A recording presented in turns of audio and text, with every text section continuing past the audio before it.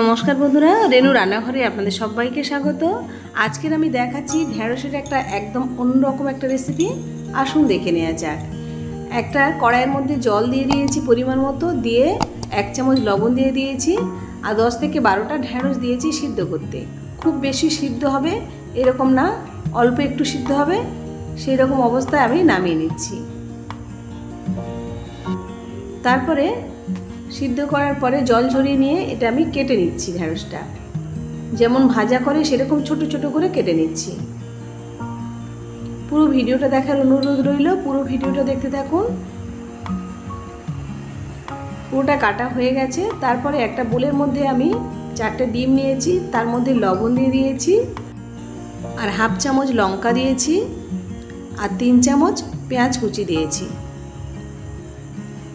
দিয়ে ভালো করে ফেটিয়ে নেব।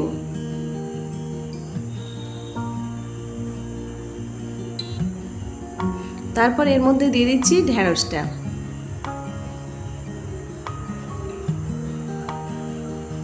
ঢ্যাঁড়সের আমরা বিভিন্ন রকম প্রিপারেশান করে থাকি। এই রেসিপিটা দেখবেন একটু আলাদা। এটা মাঝে মধ্যে করতে পারেন, ভালো লাগবে। তারপরে কড়াইটা গরম করতে দেবো। কড়াই গরম হয়ে গেছে, তার মধ্যে দিয়ে দিচ্ছি রিফাইন্ড অয়েল চার চামচ। তারপর এর মধ্যে ঢেঁড়সটা দিয়ে দিচ্ছি। আঁচটা মিডিয়াম থাকতে হবে, একটু চামচের সাহায্যে গোল করে দিচ্ছি।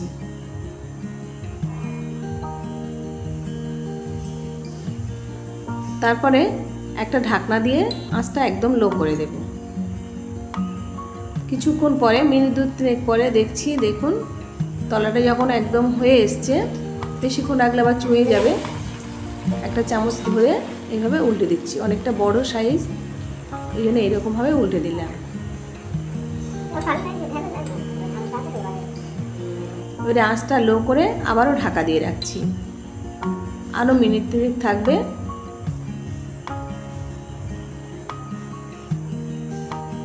আবারও উল্টে দিচ্ছি। এবারে দুদিকটা শক্ত হয়ে গেছে, আর উল্টাতে অসুবিধা হবে না।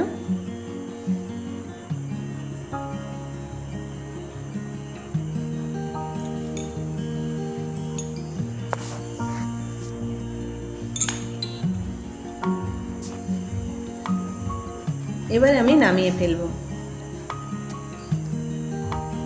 একদম অন্যরকম একটা ঢেঁড়সের অমলেট বলতে পারেন। একটা ছুরির সাহায্যে এভাবে কেটে নিচ্ছি।